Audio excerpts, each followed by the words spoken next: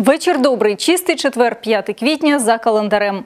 У цій порі до вашої уваги вечірній випуск Кременчуцьких новин. Сьогодні піде мова про таке. В Кременчуці розпочалися масштабні ремонти доріг. В закладах естетичного виховання відмінять батьківські внески.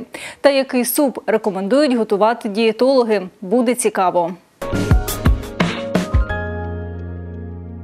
З настанням весни запрацював на повну потужність асфальтний завод, тож робота шляховиків пожвавилася. За дорученням міського голови Віталія Малецького комунальне підприємство ШРБУ ліквідовує ямковість та прокладає якісне асфальтобетонне покриття на всіх автошляхах міста. Цьогоріч планується виконати вдвічі більший обсяг дорожніх робіт. Тим паче, що тепла погода вже зараз сприяє цьому. Наше підприємство проводить роботи наразі на вулиці Троїцькій, на ділянці від вулиці Небесної Сотні до вулиці Багаєвська. Шляховики видаляють пошкоджений шар полотна проїжджої частини, очищають ділянку від пилу та бруду, встиляють нове асфальтобетонне покриття з дорожньою розміткою. Одна це е, підготовчі роботи видалення асфальтобетонного покриття фреза, друга бригада підготовка люків та решіток, і третя бригада вже е, займається не е, самою підготовкою, підмітанням, вичищанням, ґрунт- підґрунтовкою та укладанням асфальтобетону. Інша бригада здійснює ямковий ремонт з нанесенням дорожньої розмітки вздовж кільцевої дороги на пивзаводі. Паралельно бригада працює і на Ревівці на вулицях Боплана та Пугачова, аби довести вулично-дорожню мережу до ладу. Люди відзначають старанні шляховиків та схвалюють їхню роботу. Добре, приємно, дуже приємно, що буде хороша дорога. Юлія Мартинко, Олег Заєць, Кременчуцькі новини.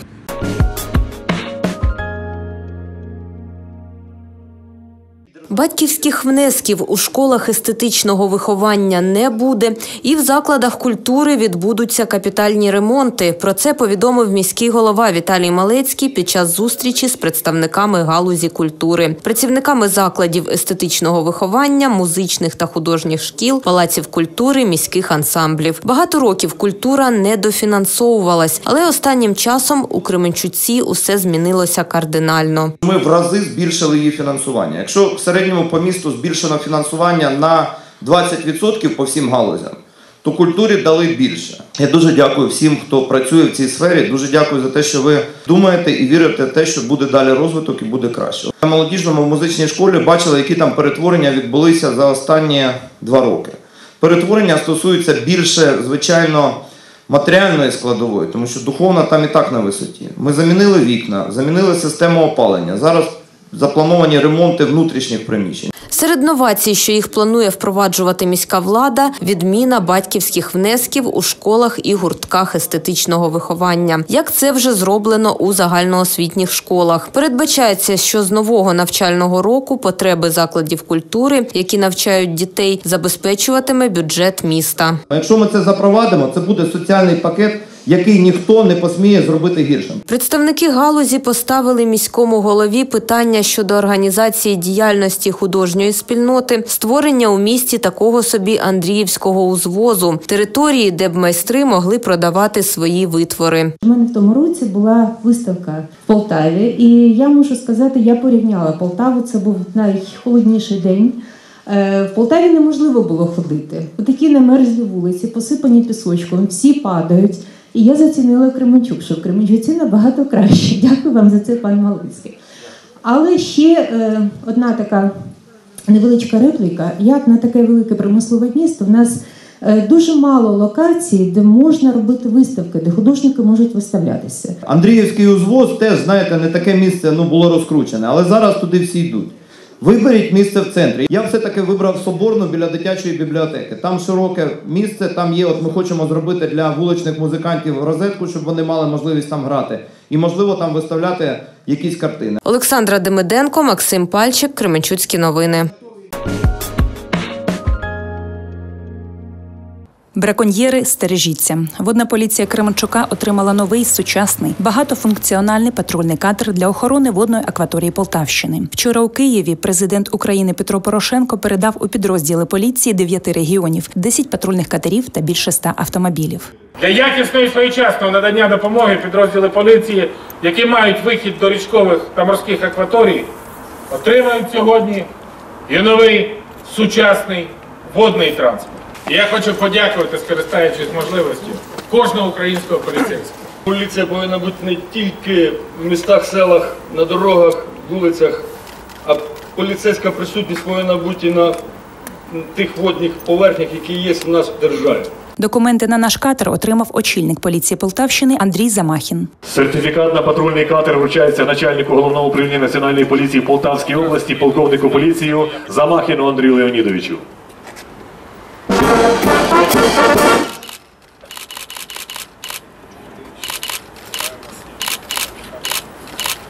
Україні успішно розвивають водну та морську поліцію, зазначив міністр внутрішніх справ Арсен Аваков. Этот путь мы проходим шаг за шагом, и думаю, что очень скоро водная патрульная полиция будет для каждого из вас привычным делом, и вы будете чувствовать себя в безопасности не только на суше, но и на воде. Эти катера все отечественного производства, Патрульний багатофункціональний катер з потужним двигуном у 200 кінських сил в рази збільшить результативність бойових чергувань, впевнений начальник водної поліції Кременчука Олег Стешенко. Завдяки такому потужному катеру ми можемо буде зручніше набагато розкривати всі правопорушення на воді е, Полтавського, Полтавського регіону. І е, забезпечувати безпеку руху всіх судновласників на акваторії річки Дніпро. Я хочу подякувати, щиро подякувати е, начальнику управління по підтримці підрозділів поліції на воді та повітряної підтримки Науменку Сергію Миколаївичу, який дійсно е, посприяв такому облаштуванню катерів. Таким чином, завдяки сучасному оновленню техпарка, водна поліція Кременчука є гідним підрозділом європейської структури Нацполіції України. На даний час підрозділ поліції на воді Кременчуга дійсно є дуже вагомим. І та робота, яку вони роблять, вона дуже важлива, на мій погляд. У нас є на даний час дуже багато напрацювань, а також проблем, які стоять безпосередньо в Кременчугі та загалом на водній гладі Полтавської області. Я впевнений, що разом ми знайдемо виходи і значно покращимо наші показники роботи і таким чином піднімемо довір'я нашого населення, наших громадян для поліції в цілому. Вікторія Пальчик, Анна Васенко, Кременчуцькі новини.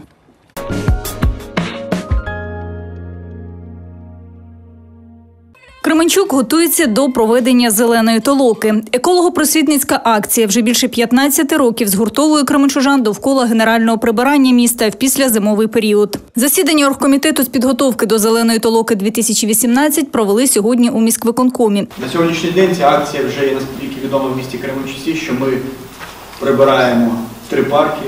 В ній беруть участь учні міста Кременчука, студенти. Вони розуміють, що таке труд комунальників, що таке прибирати своє місто, що таке любити своє місто. І на сьогоднішній день е, наступне покоління, майбутнє покоління також буде брати участь в цій акції, і вони побачать, що найголовніше в акції Зелена толока це ефект виховання, це прибирати, любити своє місто. Цьогоріч генеральне прибирання організовують в трьох зонах масового відпочинку кременчужан. 11 квітня об 11 годині на молодіжному у ландшафтному парку Кагамлицький. 12 квітня об 11 масове прибирання розпочнеться в парку Крюківський. І вже 13 квітня з 10 години екологічною акцією буде охоплено територію парку культури та відпочинку Придніпровський. До робіт будуть залучені учні та студентські колективи закладів освіти міста. Допомагатимуть молодим господарям і колективи комунальних підприємств Кременчука. Усі будуть забезпечені індивідуальними рукавичками, пакетами для сміття та знаряддям праці. А от вже після роботи на всіх чекатиме смачна каша. Анна Мащенко, Максим Пінчук, Кременчуцькі новини.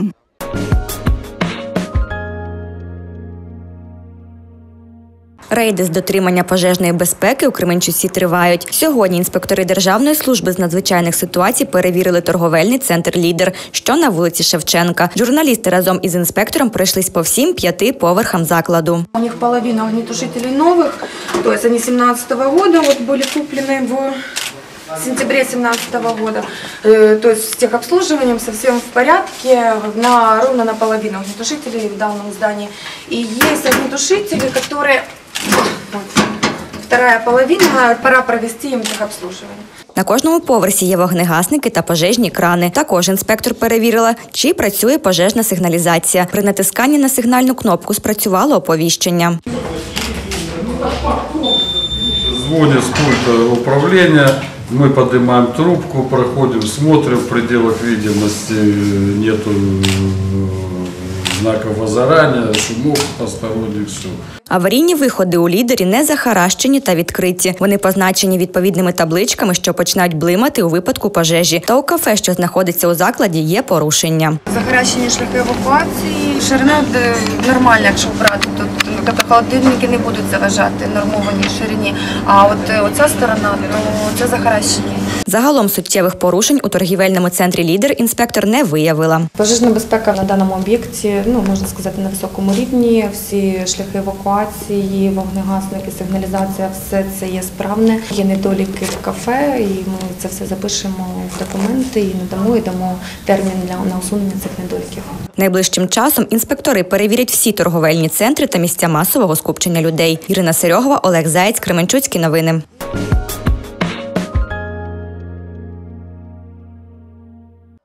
Взаємопоміч, гуртова праця, робота плечем до плеча, добровільно та безкоштовно. Все це ми називаємо толока. Це давній звичай українського народу. Толоку організовували на селі для виконання термінових робіт, що вимагали значної кількості людей: збирання врожаю, вирубування лісу, спорудження будинків, спільного випасу худоби. Завершалось це дійство народними гуляннями з частуванням, піснями і танцями. Завдяки одній з таких толок в Кременчуці і з'явився сквер Сосновий.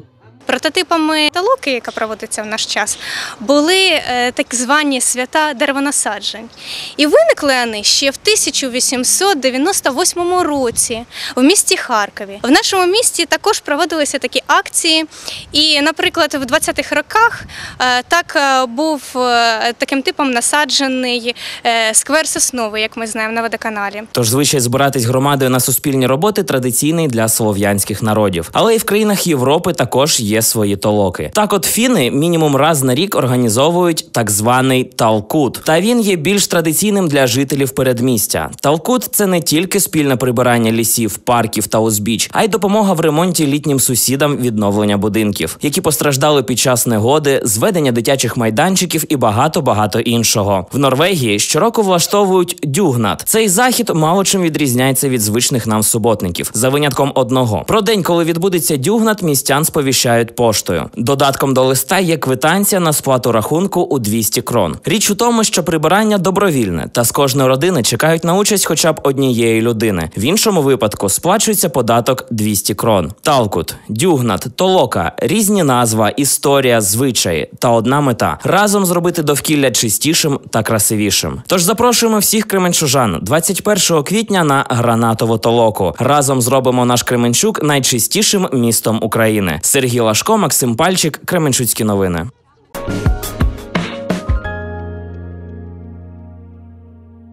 Великдень вже не за горами, тому хазяйновиті господині вже зараз купують необхідні продукти для святкування: молоко, домашній сир, борошно, яйця, родзинки, ковбаси та м'ясо. Прилавки порожніють на очах. Все купують, і сливки, і сметанка, і молочко, і бринза, і даянський, і творожок. Купують молоко, брало беруть, творожок, сметанку, ну, і яєчки. Який же пасхальний кошик без кільця домашньої ковбаси чи сала традиційних продуктів на Великдень? Купляють і м'ясо, і ковбасу, і реберці купляють, сальце купляють добреньке, щоб було посвятити на Пасху. М'ясо по 120-125 м'яке, ж ковбаска 230. Традиційно ми на Пасху варимо холодець. Холодець варимо з говяжий. Е, Хвостик кладу, кладу трошки курочки. Такий у нас холодець буде на пасочку. Значного подорожчання напередодні свята не очікується, хіба що на деякі продукти на 5-10 гривень. І до найголовнішого продукту Паски. Молоко в середньому коштує 15 гривень за літр, яйця 30, борошно на ваги 10-13, прикраси в межах трьох. Хоч інгредієнти у всіх однакові, але паски у кожного різні. Тож кременчужанки зацікавлено розповіли про свої секрети приготування. Рецепт авторський в мене бабусин. Я його наизусть не помню, конечно, но туда нужно 15 яиц, хорошие дрожжи, хорошая мука, молоко, подсолнечное масло. Первое, что делается, это и основное, это опара. И как уже она сработает, зависит, какие будут паски. По старому мамину рецепт молочко, яєчко, масличко туди. Тихенько, щоб було в хаті, чистенько прибрано, сама в платочку загнуті волосся, щоб були, е, щоб дверима не рипав, ніхто не хряпав. Спочатку опару. На два часа поставив опара, хай е, з- сходить. А потім замісити, треба довго тільки місити, щоб тісто долпало від рук. А потім опять же на два часа його, а потім у формочки і опять на два. Коротше, це буде півдня діти.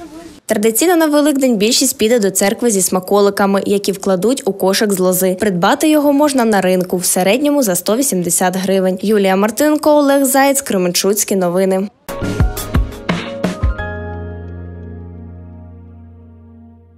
Створювати гарний та яскравий розпис на пряниках легко і цікаво, якщо знати техніку королівський айсинг. Опановувати цю майстерність допомагала всім бажаючим кондитер Наталія в читальній залі бібліотеки для дорослих на Соборній. У нас сегодня проходит э, мастер-класс по росписи э, пряников, посвященных э, Королевским айсингом. Для э, росписи пряников мы используем самые простые ингредиенты. Это сахарная пудра, но тонкость в том, что она должна быть очень-очень хорошо перетертая и, и просеянная. Яичный белок и немножечко лимонной кислоты или лимонного сока, для того, чтобы она блестела у нас. Пряники у формі зайчиків, качок та квітів кондитер приготувала заздалегідь, а потім разом з активними читачами зробили кольорову глазур, якою і прикрасили смаколики. Такі святкові солодощі можна використати як великодній декор. Кожна господиня вона знає, що покласти до великоднього кошику, да? окрім яєць, е, крашенок, е, е, куличів. Кожен хоче е, мати якусь там прикрасу, да, тому це таке печиво, яке можна, йдучи до церкви, да, комусь подарувати із е, е, вітальними словами Христос Воскрес, воістину Воскрес. Розмальовувати пряники дітям неабияк сподобалось. Це заняття веселе і творче, до того ж ще й смачне. Мне понравилось. Я нарисовала очень, очень красивые узоры р- такой краской. Мастику я попробовала, то она очень вкусная. Мне очень понравился этот мастер-класс, и я сейчас разрисовываю зайчика, потому что мы еще делали цветочки своими руками, и мастику нам рассказывали, как делать. Мы красили их разными красителями, вот и украшали цветочками. Я маме подарю с папой пряники и друзьям, и поздравлю их с Пасхой. Подібні безкоштовні майстер-класи в бібліотеці проводять часто. От і наступної неділі для активних читачів та всіх охочих відбудеться не менш корисний та цікавий захід. Вже наступної середи наші містяни можуть завітати також до відділу читальної зали на майстер-клас по виготовленню осетинських пирогів. І запрошуємо всіх. Марина Корнійчук, Олег Заєць, Кременчуцькі новини.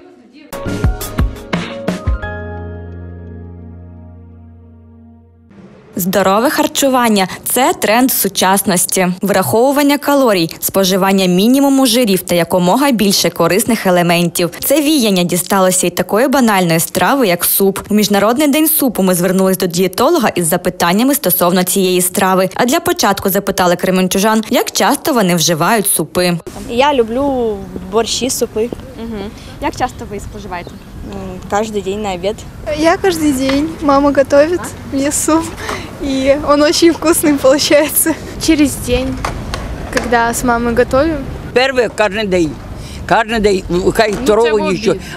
Ну, в обід, коня. А як буває, що цілий день їси? Та дієтолог Марина Дяченко зазначає, достатньо вживати супи декілька разів на тиждень. Суп не обязательно каждый день кушать. Э, Можно его, я кушаю два раза, э, два раза в неделю, этого считаю достаточно. Э, Готовлю суп без зажарок, без картофеля. Тут э, мексиканская смесь у меня идет, лук, морковка. Э, Фрикадельки делаю из куриного мяса. Сама перемолола грудку куриную в фарш с луком, соль, перец. Можно солить, перчить, обязательно просто в меру. Не обязательно делать зажарку, вы можете просто овощи прям кинуть сразу вариться. Если хотите ужирнить, добавить одну чайную ложку оливкового масла, к примеру. Замість звичайного хліба до супу Марина рекомендує вживати хлібці або цільнозерновий хліб. Також вона у своєму раціоні замінила й інші звичні для містян продукти. Я заменяю обычный белый рис вот таким вот нешлифованным, в нем больше пользы, он не очищенный, получается все самое полезное в этом зернышке сохранилось, в отличие от белого очищенного риса. Калорийность одинаковая, но польза совсем другая. По поводу макарон, я покупаю или твердые сорта, Или в этот раз я взяла с рисовой муки попробовать себе, мне очень понравились, вкусные. Жарить овочі та м'ясо Марина на кокосовому маслі. Пече корисні смаколики без використання пшеничної муки. Також у переддень Великодня ми не могли не спитати, за яким рецептом дієтолог пече паски. Скоро Пасха, вот, хочется тоже сладенького чего-то, ну, а буду заменять вот такими вот э, ингредиентами вместо обычной пшеничной муки, буду добавлять цельнозерновую и э, с нешлифованного риса муку, также туда буду добавлять мед, сухофрукты, э, яйца, на кефире эта паска готовится. Как правило, пасочки мы еще сверху мажем глазурью, и как мы привыкли готовить с сахаром, но я буду готовить взбитый белок вместе с сахарозаменителем полезным натуральным стевия называется. Чи слідувати порадам дієтолога це особиста справа кожного. Та пам'ятайте, здорове харчування це запорука вашого гарного вигляду та доброго самопочуття. Ірина Серьогова, Іван Ткаченко, Кременчуцькі новини.